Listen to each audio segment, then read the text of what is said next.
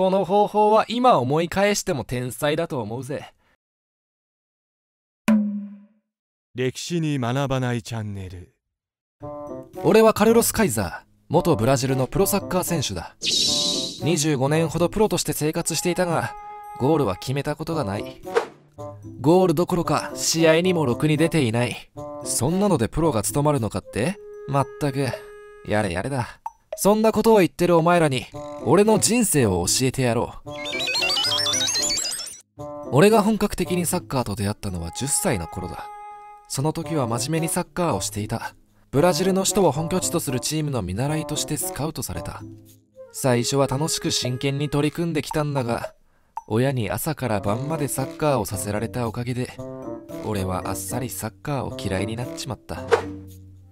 でも他にできることもなかったし必死に練習してついに16歳の時にプロ入りした。がすぐに退団した。足の故障が原因だ。練習のしすぎか知らねえが足が痛くてまともなプレーができなかったからだ。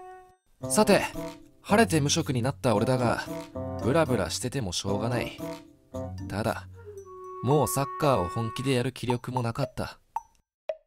俺は激しい競争社会に身を置くのはうんざりしていた。ひらめいた。俺はサッカー以外にもできることが一つだけある。喋りだ。話すことが好きな俺には友人も多く人の懐に入り込むことは得意だった。そこから俺はサッカーが上手いやつと友達になりまくった。そしてこう頼むんだ。前に怪我して退団したがお前とプレーしたい。俺はまたすぐプロに戻った。昔のブラジルにはインターネットもビデオもなかったからプロ選手の推薦ってのは契約への近道だ。元プロってのは本当だし疑うやつもいなかったのさ。しかしここからが俺の腕の見せ所だ。契約するときに怪我してたから3ヶ月調整期間をもらう。と念を押してプロの契約を取り付ける。そこから練習に行って足の調子がうーんどうもおかしい。と仮病を使いプレーをしないまま問題になる前におさらばする。これでもきっちり給料はもらえる。怪我をしたふりと聞くとそんな言い訳で乗り切れるのかと思うかもしれない。他の選手に金を払ってわざと派手にぶつからせたり医者をやってる友達に嘘の診断書を書かせたり俺は徹底的にやっていた。いろんなチームを渡り歩き金を稼いでいたが限界も感じていた。このままだといつか仕事はなくなる。そう思った俺は次の手を打った。プロサッカー選手の友達はもういらねえ。次はメディアだ。早速ジャーナリストの友達も手当たり次第に増やしていった。